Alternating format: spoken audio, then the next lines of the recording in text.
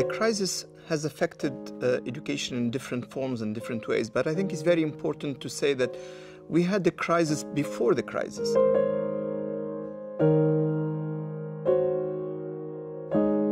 The learning crisis predated the COVID.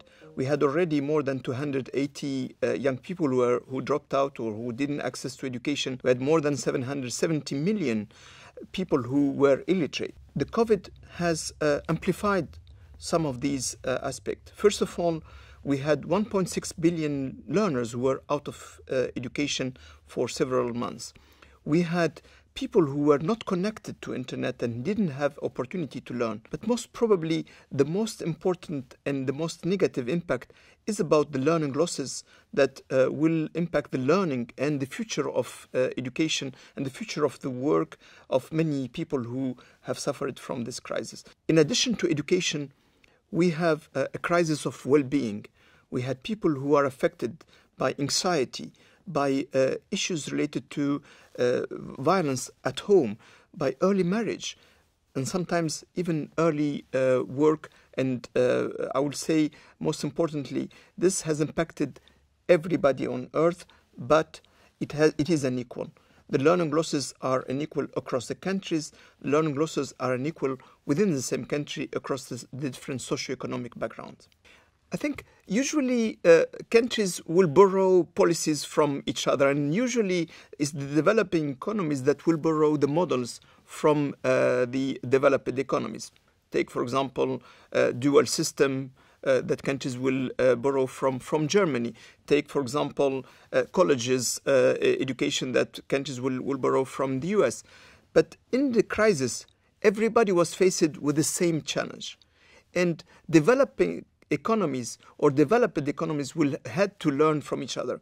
What was important for the international cooperation is that there was this feeling that countries have to come together, had to share uh, experience and expertise, had to learn from each other. And it's amazing to give you an example. Uh, in the past, to organize a, a large international meeting of ministers, it will take us months, if not years. In two weeks, we organized an international ministerial meeting of education, and we had more than 70 ministers around the table. That's an example of how the crisis has impacted the international cooperation in terms of the celerity, but also in terms of the interest to share knowledge, to share expertise, but also to learn from each other. UNESCO has moved very fast. We had three actions that we have taken. One, acting as a convening power, and we, we, organized a ministerial meeting. We launched a global education coalition that leveraged the potential of UN organization, private sector, civil society, research institution, and media. But we also organized a wide range of webinars for capacity building on issues that member states had to face and had to solve now and here. For example, we organized meeting on how you organize high-stake exams, how you deal with teacher training, how you organize vocational training. And we were accompanying member states to cope with the COVID crisis and to offer them the resources, the peer learning, the platform to exchange and to learn together. UNESCO was acting based on demand from member states. Here is a concrete example. Senegal had a platform that was not operating, had teachers that were not trained to engage in remote learning and had learners who had problems of connectivity and access to internet because of the uh, the challenge in terms of infrastructure, but also because of the cost of access to, to internet. What UNESCO has done through the Global Education Coalition is to mobilize a partner like Microsoft to develop uh, the, the uh, teachers' capacities to engage in the platform, and we enrolled in a few weeks half million learners in the, the platform that the government had already, but we helped them operating it. We have trained teachers on digital skills. We have worked with Orange to zero rate access to education, and that helped learners and teachers access to the platform, access to education resources for free. That's what we have been operating through Global Education Coalition. We have responded to a challenge of a member state. Second, for the first time, we had Microsoft working with uh, an organization like Orange, working with an organization like UNESCO, working with the government. So this innovative collaboration is something new that came through a response to the COVID and through the Global Education Coalition that UNESCO launched together with uh, partners. And today we have around 200 partners and we are operating in more than 100 countries. I think that uh, there are uh, several aspects that uh, uh our, for example, Futures of Education report has highlighted. First uh, is we need a new social contract for education, that we need to agree on what uh, place we would like to give to education in our societies, in our economies, in the sustainable development path that we are building. Second, we need to act on some dimensions of the education aspect. One is the curriculum. How are we embedding into the curriculum uh, new dimensions like uh, attitude toward uh, each other, like uh, education for sustainable development, like global citizenship. And there is also the importance given to schools. Uh, obviously, the crisis showed us that we need schools. We need more schools, but not the same school that we are having today. A new modality of organizing the teaching and learning, a new modality of governing schools, and a new modality of organizing remote learning and in-presence learning. And that's about hybrid learning, for example. And the last, which is related to, the, to, the, to this one, is how we connect the different learning spaces. We learn online, we learn at home, we learn in community, we learn in school. But we need to organize this learning so that it is valued. It is valorized by society, it's valorized by uh, economy, and it's valorized for individuals themselves. We never uh, put it in this way. And I think connecting learning spaces, valorizing the learning that is happening in different spaces will be something that we will have to take forward. Let me mention uh, a Happy School initiative that we started implementing in Asia Pacific and now we are putting at the global level. The, the, the purpose of the Happy School is that uh, we come to school not only to learn, but also to thrive, to uh, be uh, in a better uh, well-being, but also to connect with communities. And the Happy School is an initiative that connects the school with the community. For example, working with elders uh, or engaging with elders in Japan.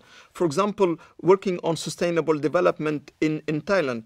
Or uh, working within the school to create uh, different cultural activities in, in, uh, in Laos. So these are some of the examples that I think we'll have to take forward at scale we'll have to take forward in terms of considering school not only a place of learning, but it's also a place of engaging together. It's a place of better health, better nutrition, but also better well-being, and that's about happiness.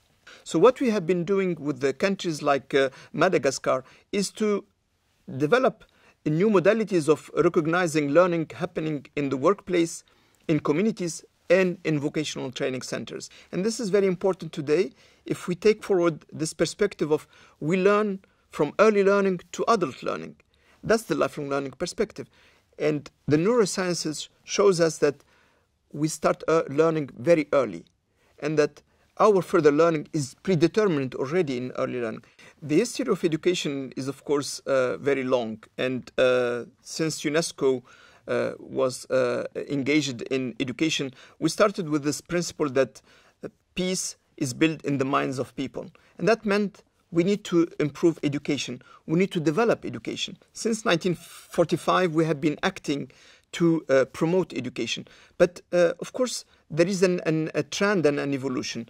To give you an example, in 1960, half of the children in the world were not accessing to education. That's how we established the right to education. And it was very important to say that every children has to go to school. Since then, we have uh, achieved much.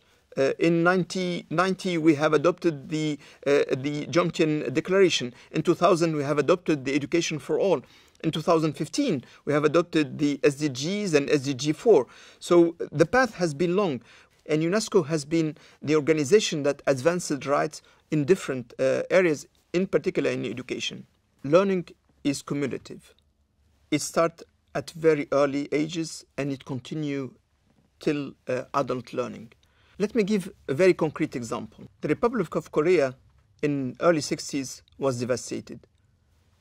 It was uh, at the level of economic development as uh, sub-Saharan African countries at that time. Today, it's a high-income country. Is one of the countries that have uh, adapted and adopted technology at the highest level. It is mainstreamed in different parts of the economy, society, and in education system. Since the 1960s, the Republic of Korea has been investing in education, and UNESCO supported them since the beginning by printing just something like textbooks and helping them in looking at how their education system can develop toward a better and more inclusive uh, uh, uh learning for everybody. We see the result. they have invested in education and they, are, they have developed not only from an economic point of view, but also from a social point of view, from equity and inclusion point of view. And it's very important to say that even when countries are poor, if they prioritize education, this can yield result.